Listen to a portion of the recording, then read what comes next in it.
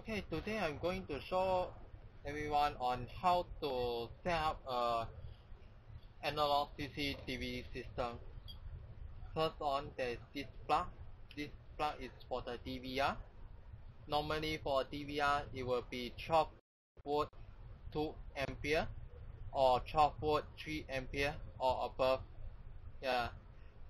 As for camera plug, usually it will be in voltage of uh, 12 volt 1 ampere for the dome camera uh, and the bullet camera as well. Uh, while for PTZ camera, it will require 12 volt 3 ampere or above. Yeah, so for this is the dome and we are providing the 12 volt 1 ampere today. This is the uh, the dome camera. This is the video connector and the power connector jack so this uh, this is a premium connector jack. And uh, yeah. So yeah. this is the DVR recorder. This model we are featuring today is iRoyal. iRoyal 6704N recorder.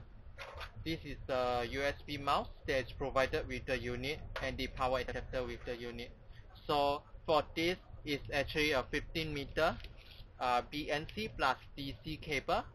Uh, why I call it BNC plus DC is because it has both radio and power. Re uh, radio is the BNC cable. The red color this one, which has the head protruder out. This one is actually the DC power cable. Yeah. So how to get this set up? First of all, we have this uh, turn this DVR around.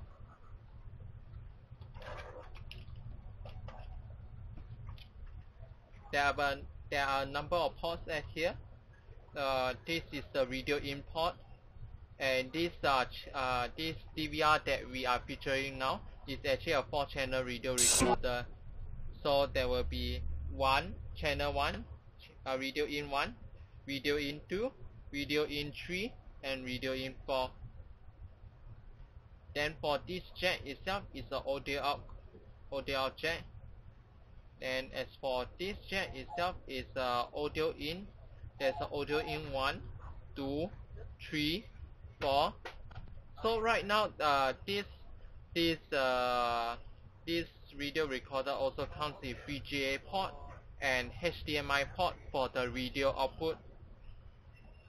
It means uh, it can be connected to either a TV or monitor this one is a LAN cable jack. It is for connection to the Wi-Fi router so that you can watch this uh, you can access this recorder remotely either for live remote live view or remote playback. As for here there are two jacks at here. These two are actually USB ports. Yeah so typically one will be used for the USB mouse that is provided which we can connect it here. And the other jack here you can you can connect it with a USB thumb drive if you want to ever need to retrieve data from this recorder in a faster way. And as well uh, for here this is a RS485 port which I will be featuring in the uh, in my next series of video as for here, this one is the DC 12 volt in for the DVR power. So let's start off by connecting this uh, this power adapter to the DC 12 volt jack and then we get it power uh, plug into the multi-purpose plug get it power on for here there uh, for for here this part is the starting of the 15 meter wire. So uh, the radio radio in this one uh, radio in this part will go to video in one port one.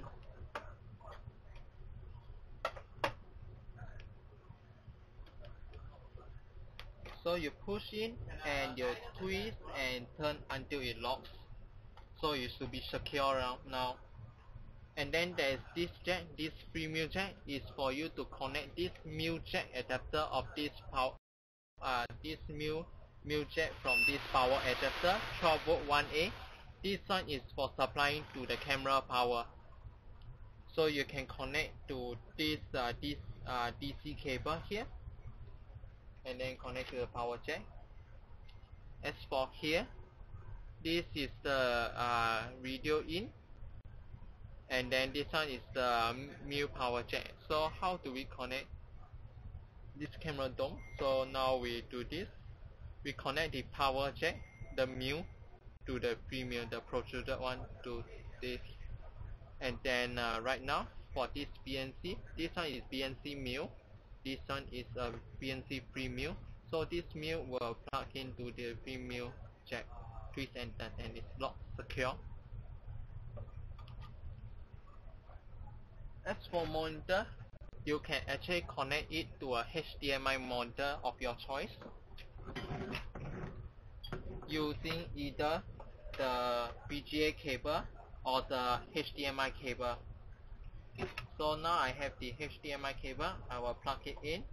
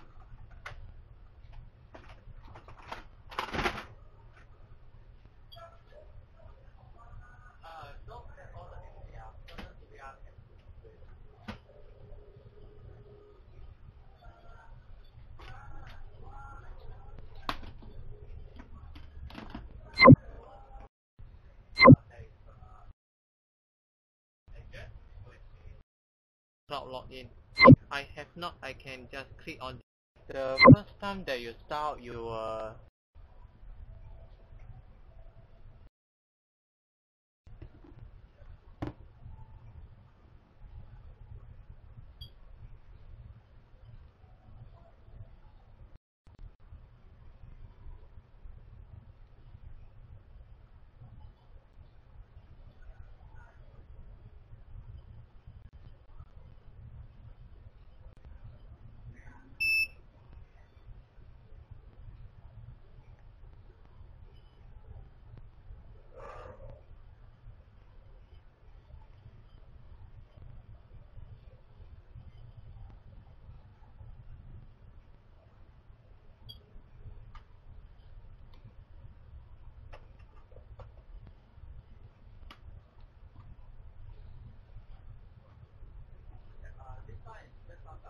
Okay, the first time that you start, you uh, you turn on the recorder, you will reach to this screen.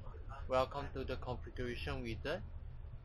It will help you to configure the device. To continue, click next. So if let's say you you're not sure where to find this wizard, you can press uh, you can right click and press on guide G-U-I-D-E so now we go next. And then here is asking for a login. If you have not set a password you can leave this blank. So we press on the OK. Right now uh, depending on where you are at you can set whether you want year year month month day day or day day month month year year or month month day day year year. So for me I will set day day month month year year and then time format depend you want 12 hours or 24 hours. I will leave it at 24 hours. So language you can set from here. So I will just leave it as English and then I press on next and then here is saying the network test. If you need remote viewing you will require to have one LAN cable connected to this recorder. It's a LAN cable this LAN cable has to be the other end of this LAN cable has to plug in directly to a to a router internet router. So just plug it in until you hear the click sound. Okay. And then now there's light at the behind of the recorder. A green and a orange light now on our DVR screen we press on the retry button and then it's still showing error. So we have to check our settings for the uh, the setting for the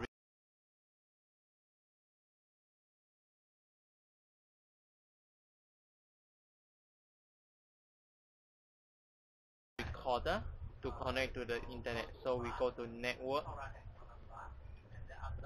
and then we go to DHCP enable and then we press on the OK key. Right now just wait for a while. Now we click on retry. Still saying get gateway test field it may take a while to retrieve the IP address so we press again retry. So right now once the recorder is able to connect to the internet it will display test gateway OK test network OK test DD, uh, test DNS OK. Your devices have connected to the network properly. So now we go to next. And then here there are three QR codes here. One is for the iPhone, one is for the Android apps, and then the other one is the serial number, serial number. So right now we have to download apps on the mobile phone.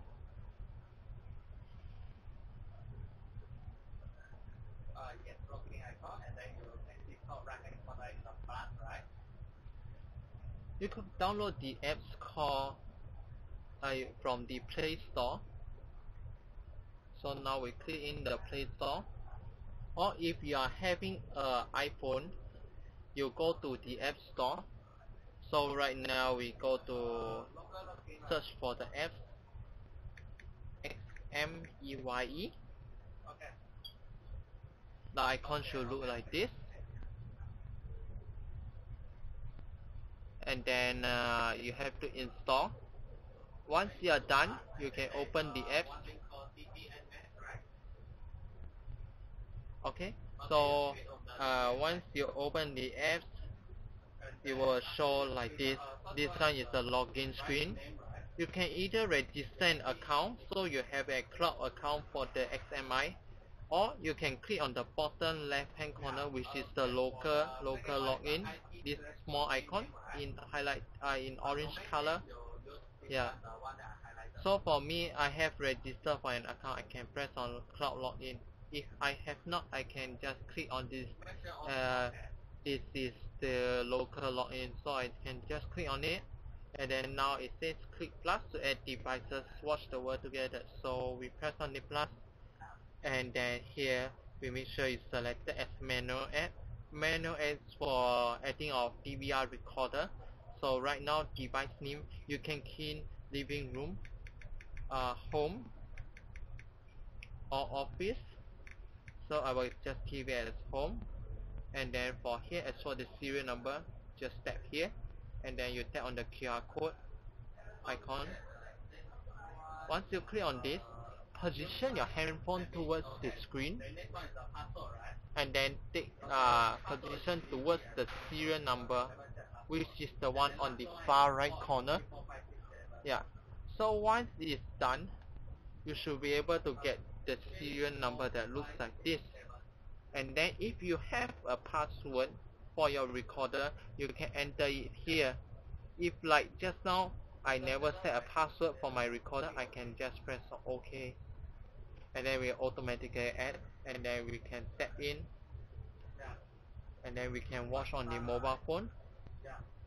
the live view or the camera. yeah. you can uh, okay. This is for the mobile phone app.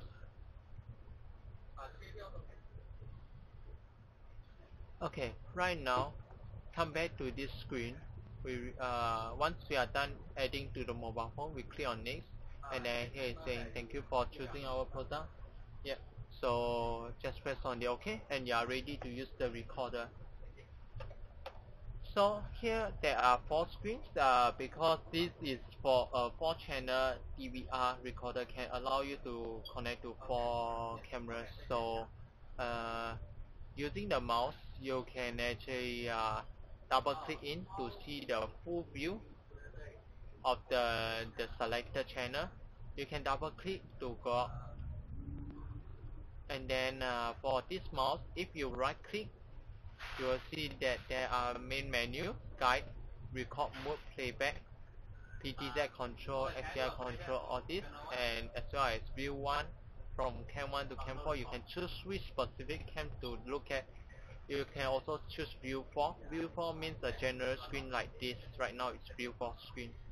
So right uh, right, right now I'm going to teach you how to do the record configuration. So you can actually right click the mouse and then you will right click on the main menu word. And then right now you pop up the color menu here. So right now there's uh, there are different tabs at the bottom right now. So uh, by default it will start within the system system tab. So for me I need to configure for the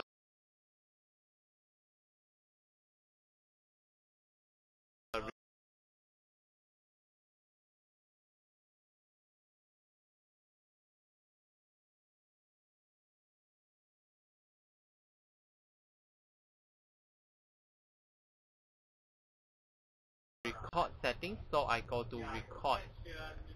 Record here I can choose to re playback record or I can do record config. So we can press on the record config and then for here you can select which channel that you want to set specific uh, recording schedule.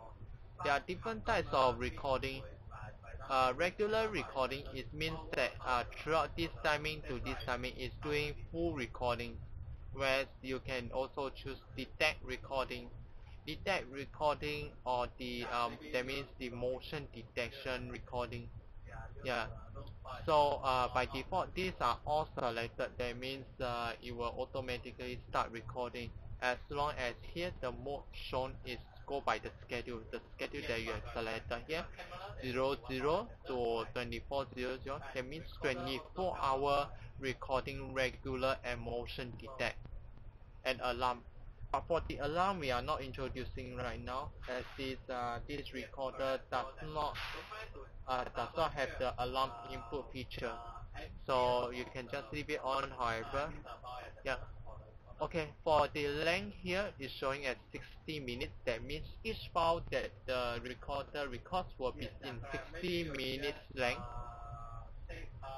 You can set different recording schedule let's say you want to set uh, you want to set 00 zero, uh, sorry you want to set uh, the That means you want to set the first recording schedule for the day 0800 assuming your your office start at 8.30 I will recommend for you to start recording at 8 a.m. because some people may may come uh, may come in the earlier hours.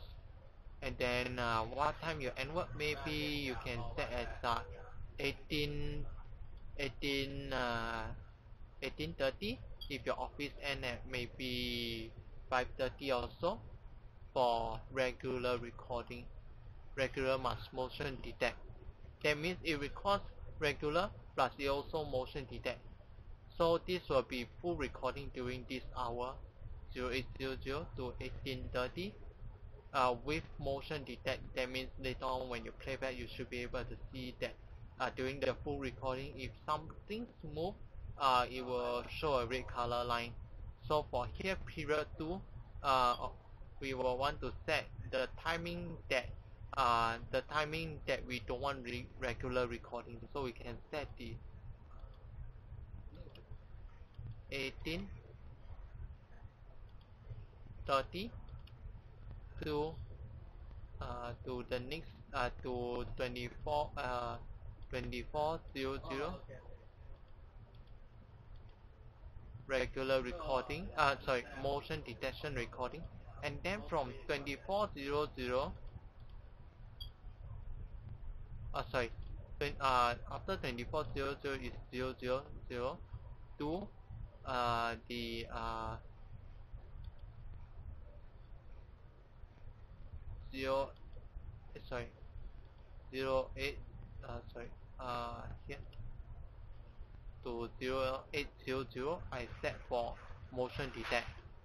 So for this record uh, the recording I schedule that I set is that is like from uh, the period 1 is 0800 to 18 to 1830 is regular plus motion detect then from 1830 to 24 hours is just motion detect. That means anything move then you will record. And then from here 00 to 0800 I also record based on motion. Yeah. Unless I have another schedule to add I can add into period 4 but right now I just keep at this and then press on the OK okay. So here we also have the backup button and the playback button. So I show you the playback button. So for here you can organize it by the calendar. Which month you want to play back which day just click on it. And then you can uh, choose which uh, which channel to actually show. You can also choose all. Then you choose on the search. They will show all the bar. You can press on the sync mode sync mode uh, because right now if you is showing as 24 hour for cam 1 to cam 4 if you want to see a specific hour like example 1730 but you see the 19 uh, 19 and 20 is too near you want to choose a specific time you can use the mouse scroll button the mouse center scroll button to actually scroll in. And then you see it's showing like 1855 to 1920 around here. So in between you see it's spread into 5 minutes 5 minutes 5 minutes. It's easier and more convenient to you to choose which which uh, which timing you want to view at. But more specific so you can choose here. Yeah. Then you notice if you if you choose different timing the other channels doesn't follow so for if this if you want to play back all channels at the same timing you can press on sync mode. It means you stop first then you press on sync mode and then you go back to here zoom in and then you play. The other channel will also play back at the same time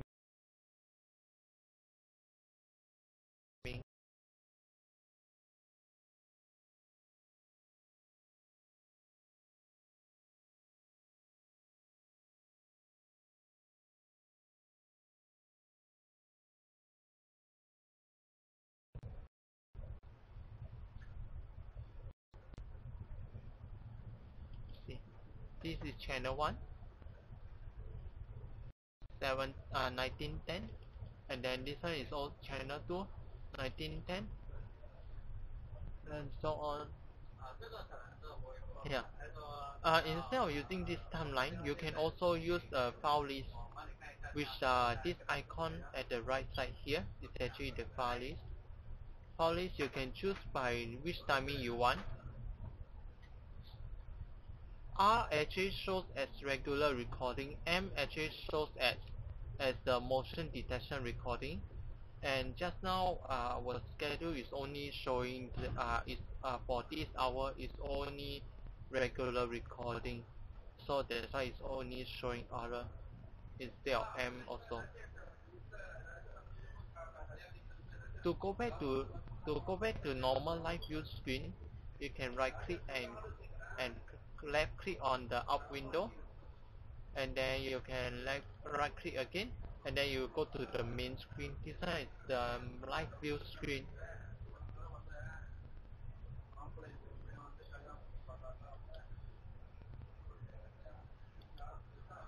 And then how now, now how do we extract the uh, the video to a computer to play? We right click then we go to the playback. You can see which file you want to you want to retrieve. Let's say for example okay just give me a minute. It's loading up.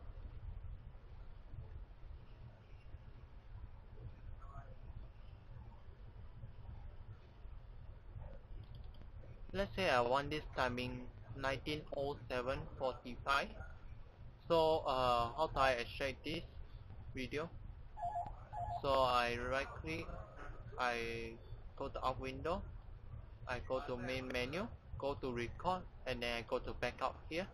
I must insert a thumb drive into the system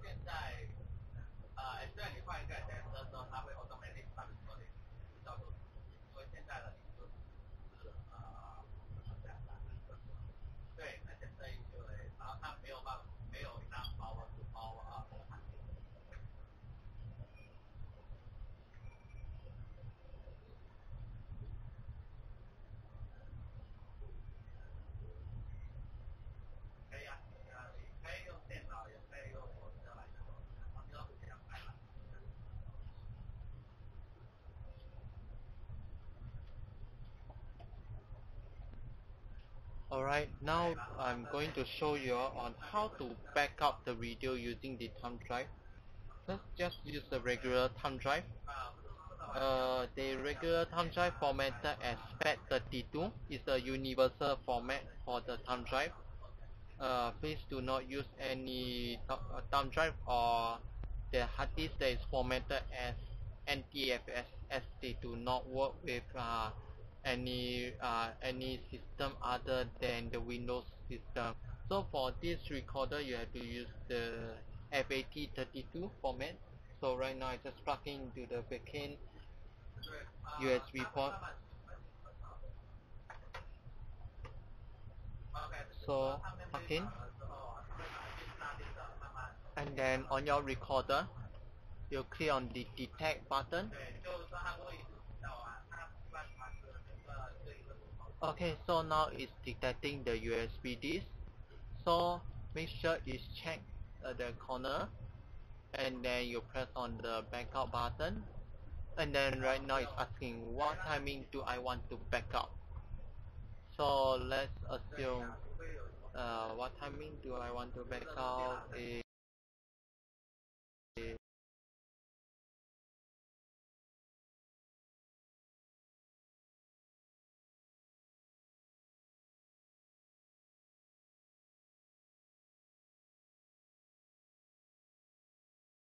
just give me a while. Ah, let's see. So right now it's uh 720 1927 so we right click we go to the main menu and then we go to record uh, the backup detect backup and then from here uh, we can choose add and then right now it will show you the files that here. Yeah you can choose which file you want which file you don't want. Let's assume I want the 1906 to 1918 file so I unclick all those others. And then right now it's showing the required size. Or required size is 1900 uh sorry uh 190 MB over uh,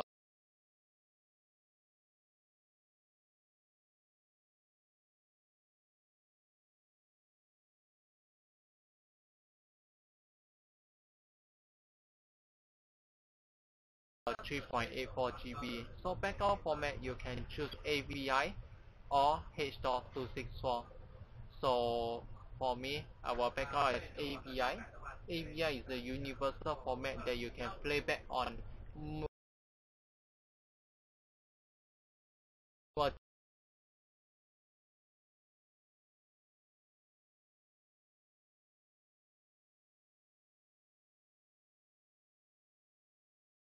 majority of video player like Windows Media Player, VLC Media Player, KM Media Player. So I will choose this. If you choose H.264 radio, your backup is H.264 file, which can only be opened with the, re the recorder's uh,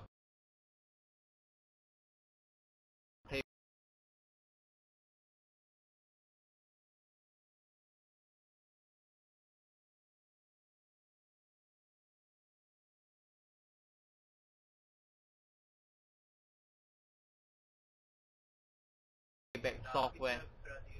So for each software, I will backup as AVI first and then I press on the start button. And then there will be a progress bar and the remaining timing.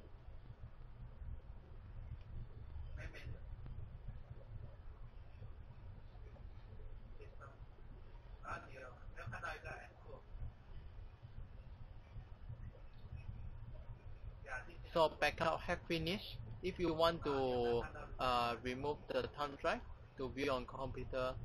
You can just remove it like this